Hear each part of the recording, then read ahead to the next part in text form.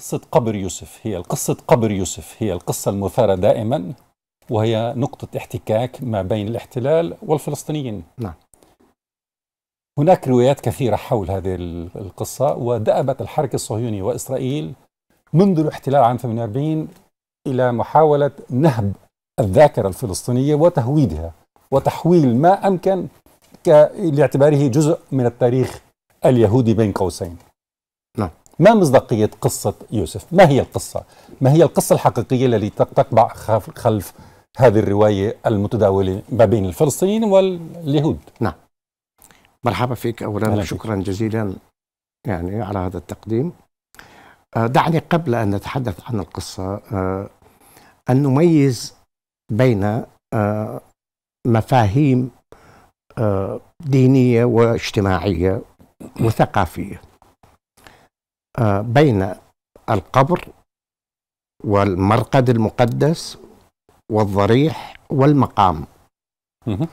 يعني ليست كل هذه التعبيرات آه، هي للدلالة عن شيء واحد. لكل تعبير دلالة محددة القبر غير الضريح والضريح غير المقام والمقام غير المرقد مثلا.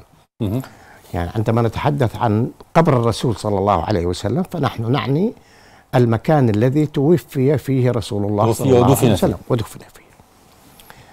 عندما نتحدث عن ضريح هذا يعني أمر آخر مثلا عن نقول ضريح الإمام الحسين في مصر ولكن هناك ضريح للإمام الحسين في كربلاء. هذا يعني أن الضريح هو الشاهدة الرمزية الدينية التي يمكن أن تقام في أكثر من مكان في أكثر من بقعة. وهذا آه، في إطار منظومة معتقدات عند أي جماعة بشرية آه، تصبح آه، الأضرحة دالة على تقديس شخص أو قديس أو يعني نبي أو إمام. ولكن لا تدل على أنها قبرة. نحن نتحدث هون عن قبر يقال نعم. قبر يوسف. لا نعم. عندما يتحدث الإسرائيليون المعاصرون عن ما يسموه قبر يوسف يعني هذا يعني كما يعني نبين في هذه الحلقة أنه هو جزء من الخداع الاستراتيجي للاستيلاء على الأرض. لا يوجد قبر. آه، هناك آه، ضريح أو مقام للنبي يوسف بين قوسين. وليس قبرا. وكما قلت لك هناك آه، فرق بين القبر والضريح والمرقد. يعني عندما نتحدث عن مراقد مقدسة آه، فهذه غالبا ما ترتبط بوقائع تاريخية أو آه، أحداث بحيث آه، يعني البطل أو الشخص يرتبط بحادثة محددة قد يكون لقي حتفه فيقال انه هنا رقد يعني هنا قتل أو هنا استشهد ودفن وبالتالي يصبح هذا مرقد المقام أمر مختلف هناك مقامات وطبعا هذا يعني آه يعني أمر مألوف آه أنك تجد الكثير من المقامات يعني للأولياء وللقديسين هل هي مقامات أم مقامات؟ هو يعني المقام بمعنى آه، يعني المكان. ولكن المقام يعني ب آه، يعني الفرق بين المكان والمكانة يعني. آه يعني مكانه مكانة الشخص لا تعني مغ... آه مكانة مكانه لا لا تعني مكانه يعني.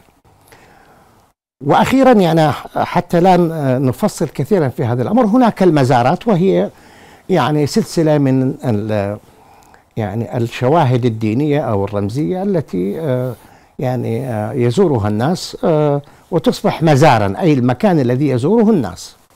هذا أولا. ما موجود في فلسطين في مدخل نابلس مدينة نابلس. ما يزعم أنه قبر يوسف. هذه القصة يعني اختلقت في الحقيقة أيام الحروب الصليبية أو بين قوسين ما يسمى حروب الفرنجة. ولعب آه، الرواة المسلمون. يعني الإخباريون ومفسرو القرآن في هذه الحقبة يعني التي تبدأ عمليا من 1164 آه، ميلادي آه، لعبوا دورا رئيسيا في إشاعة يعني قصة وجود مكان مقدس. مكان مقدس ليوسف. الصليبيون عندما جاءوا إلى بلاد الشام وأنا أكرر مرة أخرى أن الصليبيون بين قوسين أقصد حروب الفرنجة أي حروب الإقطاع الأوروبي الذي يعني آه انتهى من تقسيم الأراضي في أوروبا. يعني كما نعلم أن الإقطاعيون في أوروبا في فرنسا وإسبانيا وإيطاليا وألمانيا والنمسا آه تقاتلوا عقود طويلة على الأرض وعندما انتهوا من حروبهم ويعني استقلوا في دوقيات خاصة بهم آه، أصبحت الكنيسة آه، في حالة ضعيفة أمام جبروت الإقطاع الأوروبي الذي استولى على الأرض وبنى دوقيات في كل مناطق أوروبا.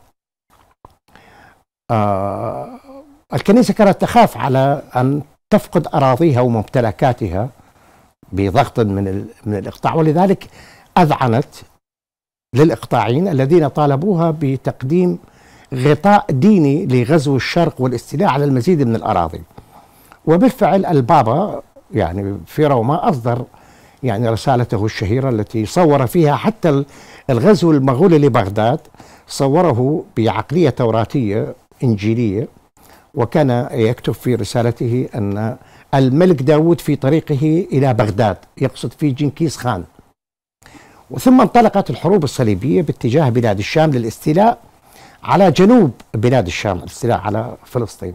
في هذا الوقت نشط الفقهاء والمسلمون الذين يشتغلون في تفاسير القرآن أو الإخباريون في محاولة لحشد الوجدان الإسلامي للدفاع عن أرض فلسطين وصورت كل يعني كل فلسطين يعني كل ما موجود في فلسطين على أنها يعني أماكن مقدسة ينبغي آه، الدفاع عنها. في هذا الوقت يعني مع, مع بعد تسع آه، حملات صليبية تمكن الصليبيون يعني من دخول آه، القدس.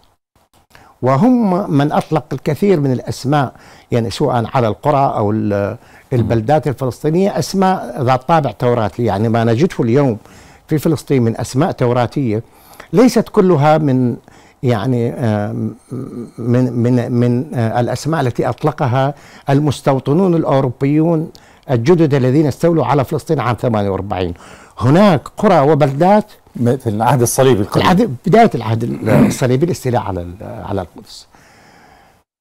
الرواة المسلمون في هذا الوقت يعني اشاعوا رواية تقول أن هناك مكان مقدس يعني مرقد أو ضريح أو مزار أو مكان مقدس آه ليوسف.